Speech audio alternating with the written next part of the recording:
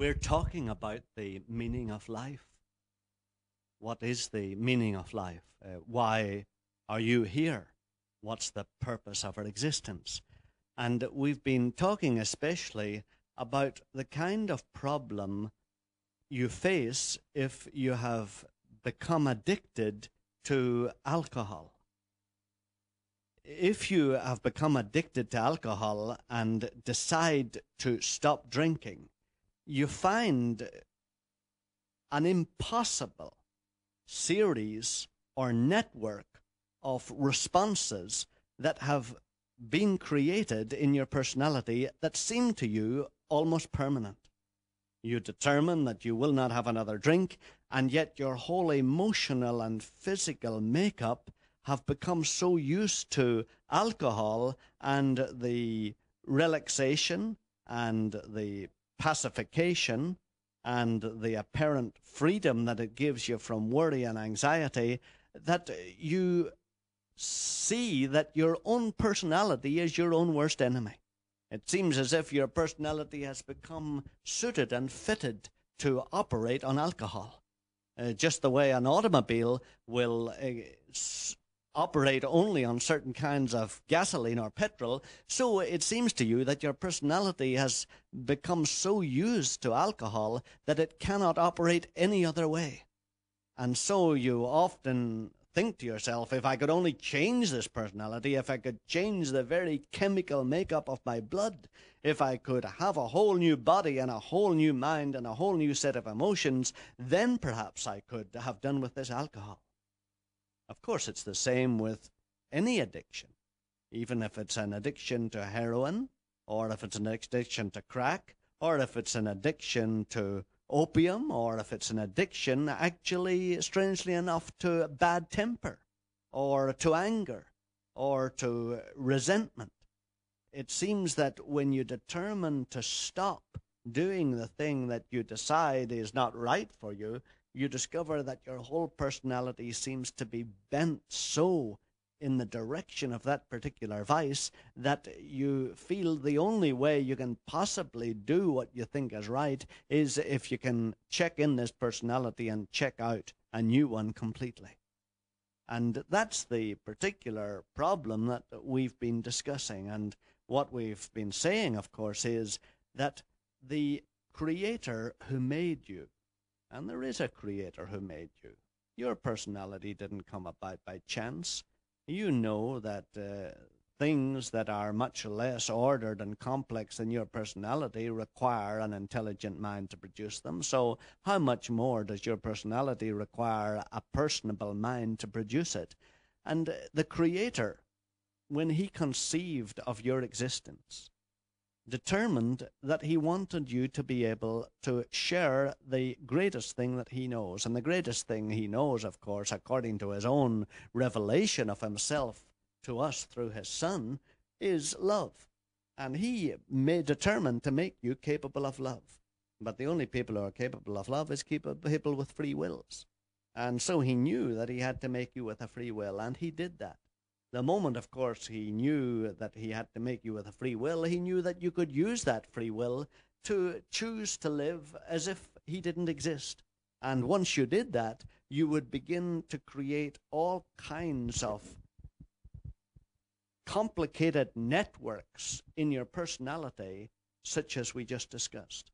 It would create in you attitudes of mind and emotions that would be filled with frustration as you tried to get from other people what you were originally meant to get from Him. It would fill you with all kinds of complexes and all kinds of twists and crooked ways in your personality as you tried to get from the world the kind of security that you could only get from Him alone.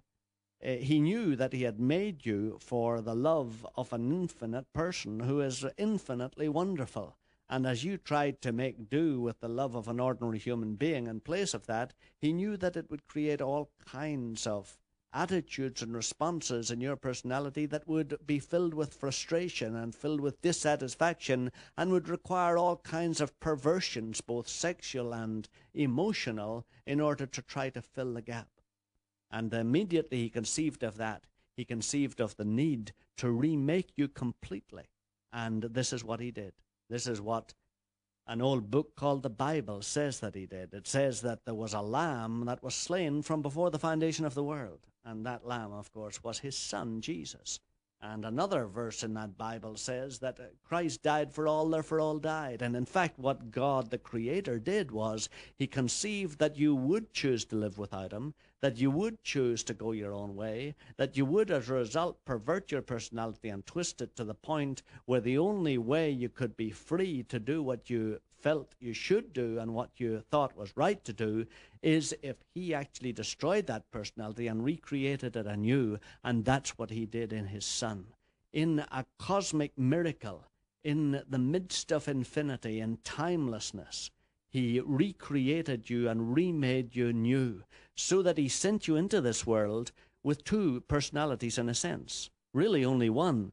But he sent you with the ghost of the old one still alive. That's the one that you have when you try to stop drinking. That's the one that we have when you stop trying to, when you stop the sexual perversion that you're involved in. That's the one that you have when you try to stop being bad tempered. He allowed that one to live in you and continue to exist so that you would see the consequences of that choice. But he also created a new one in his son. In timeless eternity, your old self was crucified with him. And that timeless beautiful, pure, and perfect personality is available to you, and that's the real one that actually does exist.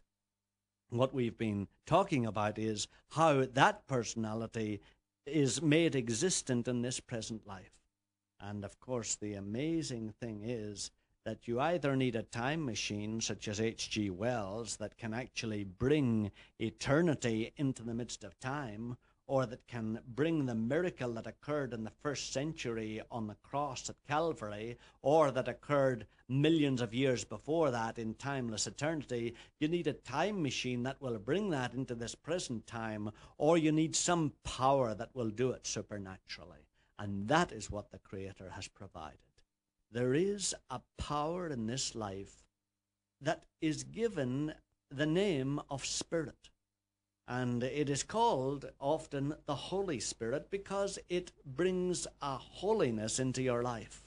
And this Holy Spirit is God Himself. It's the Creator Himself. It's the infinite being Himself. And this Holy Spirit is able to take the miracle that God created before He even made the world, the miracle whereby he renewed you completely in the Son and remade you and destroyed that old self nature.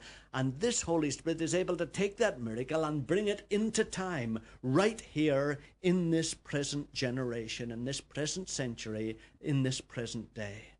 And it's this Holy Spirit that does that miraculously. So you're right if you say, well, whatever he did in the first century, I can't have it in my own life today because I'm in time here in the 20th century and he did this back 20 years ago, 20, uh, 100 years ago. And if you're right, he actually did it millions of years before that. How do I bring that into my life? You don't. But he has provided a power or a dynamic. It's actually a person. The Holy Spirit is actually a person. It's the third person of the Godhead. And He is able to take that miracle that God wrought in His Son Jesus in you, and He's able to bring this into your life today as you sit in this car at, that mo- at this moment, as you sit in your room at this very moment, as you sit in your office chair and look out through that window the Holy Spirit is able to make real in you this tremendous deliverance that the Creator worked for you in His Son. In fact, He made you twice. He made you, first of all, with a free will, and then He foresaw what you would use that free will to do uh, to pervert your own personality. And He took that perverted personality and He remade it in a Son. And then He made available the Holy Spirit, who is able to actualize that cosmic miracle in your personal life at this very moment. What does he need you to do in order that he should do that? You need to want it. You need to be willing for it. And you need to begin to respect the Holy Spirit. and to ask Him to make this effective in you. If you do that, He will change you this very moment. Let's talk a little more tomorrow.